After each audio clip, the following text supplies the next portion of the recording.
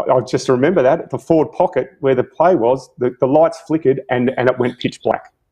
And uh, for the next half an hour, we, we were getting a lot of different stories. You know, there was a, a car accident, there was a blown fuse, um, but we'll start in five minutes, we'll start in 10 minutes. But then the crowd started coming onto the ground. The players didn't know what was going on.